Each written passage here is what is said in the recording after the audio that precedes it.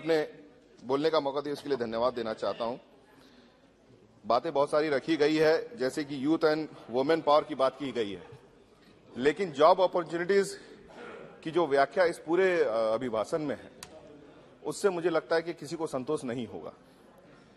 Diversity और unity unity की बात की जाती है, लेकिन अगर आप कहें कि दिल्ली के अंदर ही कुछ दिन अंदर ही आपका भाषण दिया जाता है, जिसमें कि सत्ता दल के लोग रहते हैं और मुसलमानों और क्रिश्चियंस पे डंडा बरसाने की बात करते हैं। क्रिश्चियन कितने हैं? थ्री टू फोर परसेंट इतने कम परसेंट के लोगों को अगर आप बर्दाश्त नहीं कर सकते देश में तो कौन सिर्फ़ शब्दों को ऐड करने से सबका साथ, सबका विकास, सबका प्रयास और सबका विश्वास? सिर्फ़ शब्द बढ़ाने से जो है, ये देश में जो है एकता और अखंडता नहीं हो पाएगी। डिजिटल नेटवर्क की बात की गई है, लेकिन आज भी मैं कह सकता हूँ कि डायरेक्ट बेनिफिट ट्रांसफ़र या फिर आपका जो अनाज का वितरण हो रहा है हमारे क्षेत्र में गाँवों में अभी भी दिक्कत वहाँ पे कई है। और जो बात कही गई है कि इस सरकार में स्कैम को बर्दाश्त नहीं किया जा रहा है। आज जहाँ पे अदानी की बात आएगी तो सामने दल के लोगों के, के मुँह से जो है बहुत ज़्यादा बात निकल करके आ जाएगी।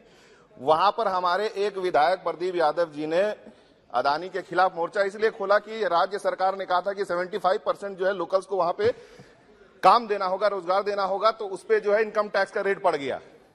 और आज जब इतनी सारी बातें, इतनी सारी बातें हो रही हैं तो उसके बाद सरकार के तरफ़ से इनके ऊपर ईडी सीबीआई और इनकम टैक्स क्यों नहीं लगाया जा रहा है? एक यहाँ पे बात कहेगी, क्या कवे Kailasa means karma is worship and Shiva is karma. लेकिन राम का नाम लेते लेते रावण की राह पे चल गए हैं सब लोग, इस पे भी सब लोगों को ध्यान देने की ज़रूरत है हो गया धन्यवाद बढ़ता हूँ। आपके आपके कहने पे और भी आगे बढ़ता हूँ। जी, जी, जी। और भी आगे बढ़ता हूँ कि आपने लिखा कि we thank the people we thank the people for choosing stable government for the second time लेकिन जहाँ जहाँ भी भी बीजेपी की सरकार नहीं है वहाँ पे आप गिराने का काम करते हो। हमारे स्टेट में भी ये